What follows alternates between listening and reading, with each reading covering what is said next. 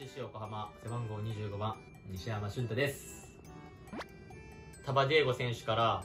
バトンを受け継いだので、えー、僕が普段やってるセルフケアを紹介していきたいと思います。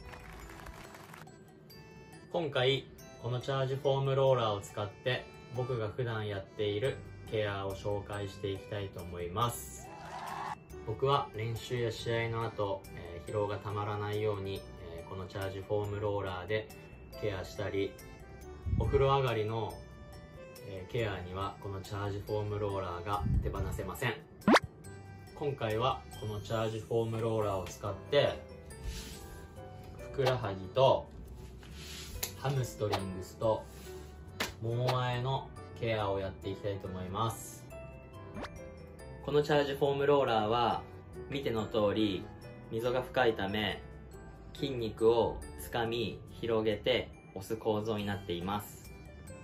筋肉のリカバリーや血流を良くするので運動後専用のローラーとなっています。まずはふくらはぎです。ふくらはぎはゆっくり大きくまんべんなく動かしていきます。外側や内側にも動かすことでより気になるところをピンポイントで、えー、ケアできます。自分が気持ちいいところで止めるとよりピンポイントでケアできます。続いてはハムストリングスです。ハムストリングスはお尻の付け根から膝裏まで大きく動かして圧をかけていきます。僕のおすすめは